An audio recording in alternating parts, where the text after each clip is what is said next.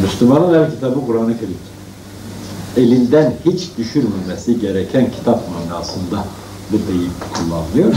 Biz de o manada kullanıyor ve Müslümanın elinden hiç düşürmemesi gereken kitabın Kur'an-ı Kerim olduğunu biliyoruz.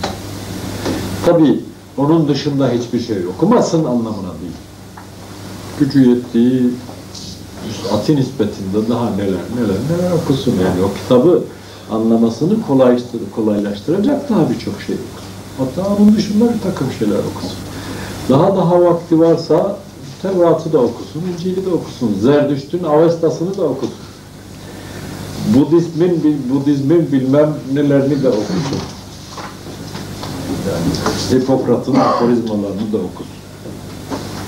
Vakit bulmuşsa, okuma zevkini almışsa, yani bu işi yapabiliyorsa yapsın, okusun. Yani o kadar biri diğerinden farklı konularda kitaplar okumuşum hayret yani eczacılıkla ilgili ta eski Yunan eczacılığından Hipokrat meşhur doktor ve doğal bitkilerden filan ilaçlar yapan adam onun aforizmaları apotek diyorlar ya eczaneye işte Yunanca kelime aslı aforizma yani o, o kitabı bile vaktiyle ta 1956'daydı galiba Ordinarius Profesör Feridun Nafiz Uzluk vardı. Tıp tarihi kürsüsünün başkanı. Ankara Üniversitesi Tıp Fakültesi'nde çok iyi ahbaptık. O Mevlana Celaleddin Rumi'nin soyundan geldiğini söylerdi. Herkes de öyle bilirdi.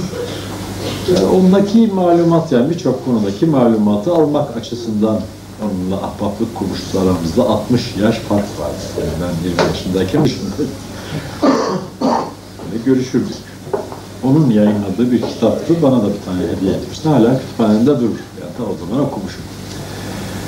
Demek istediğim şu, yani anladığı dilden yazılanla okuyacak insan bir. İki, defaatle okuyacak. Tabii her kitabı defaatle okumasına gerek yok.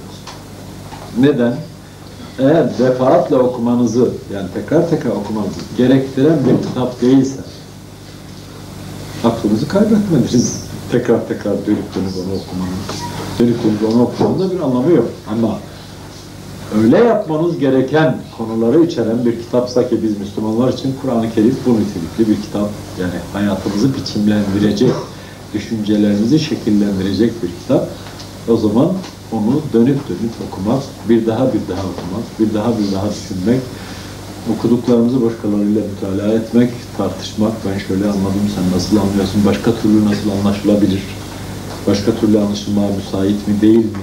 Gibi onu daha iyi anlamaya yönelik mütalalarla tekrar tekrar okuma, o kitabı içine sindirme, kafasına alma, düşünce ve davranışları haline dönüştürme